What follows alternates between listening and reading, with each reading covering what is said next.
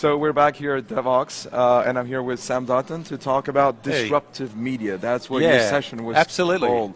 So, Yeah. um, so you think that um, you, you're working on standards, and uh, to you believe standards can actually help to create, uh, stimulate content creation, and, and by content creation we mean, you know, maybe even artists, and we can bring to the web something that Yeah. was not there today. So tell me what.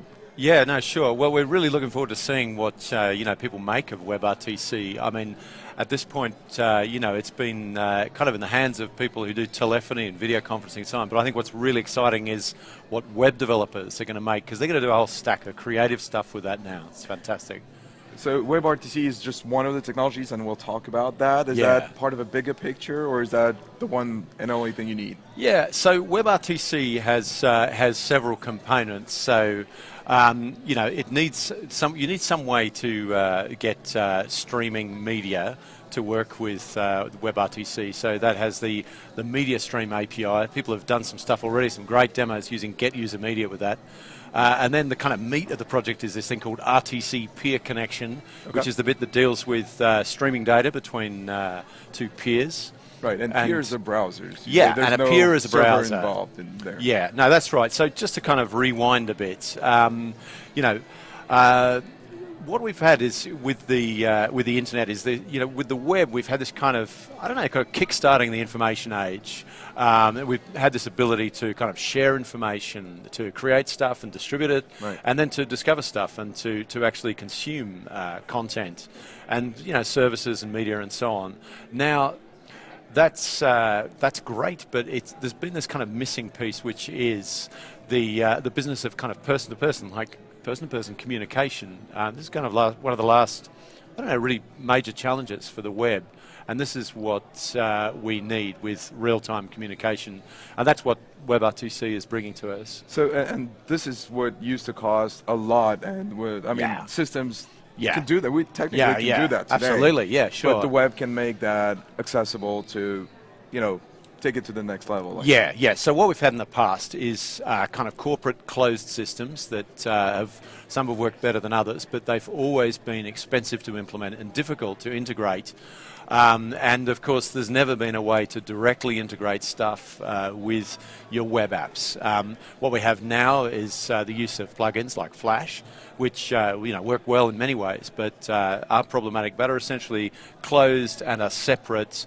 And also thinking about security, you know, they're not part of the sandbox browser environment. So WebRTC has also been built with security in mind, using secure protocols. And uh, because it's within the browser, continually updated, sandboxed, it's inherently more secure. So, what do you send? What, what kind of data can you share? Uh, Yeah. I mean, the, the, the, I mean, developers care about Uh, that. it's uh, yeah, it's uh, it's exciting to think what people are going to do with it. So with WebRTC, the kind of core of it is this idea of, of voice and video calling. Right. Uh, that kind of makes sense. So um, a lot of the optimizations have been about working with voice to, to essentially uh, do what you can do with telephony, but. Uh, we've also got uh, this uh, ability to do really high quality video chat. We're already seeing very good quality, very uh, you know low latency, Low latency video key, chat, right? which is fantastic. Um, the uh, third kind of part of the WebRTC picture, in a way, is an API called Data Channel. Now, what that enables you to do is arbitrary streaming data between browsers. So that's like anything. So you could be streaming any kind of arbitrary data, not just audio, video data, anything. So Wow. a stack of really, I mean, who knows? Oh Who yeah, knows? I can I can imagine quite a Yeah. few things already. Yeah. So um, maybe for developers, what does RTC mean? I mean, where do they get Yeah, yeah. started, and and why is it even a good thing in the first place? I mean, they like Yeah. Flash today, and maybe that. Yeah, so- for the players that that offers Absolutely.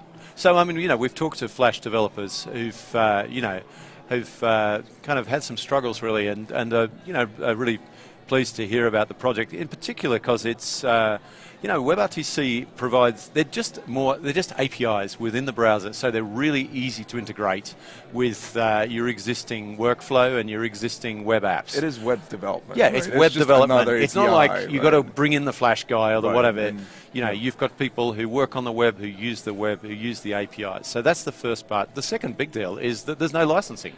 You know, uh, Google has uh, done a huge amount of work on their stuff and made it then open sourced, freely available. So there's no licensing for the developers or for the end users. So, kind of, you know, it's good for everyone. Okay, great. So, um, where should people go to get started if they're Yeah. interested? And what does the next six months or 12 months or two years look like? Yeah, yep. So um, the place to start with WebRTC is webrtc.org.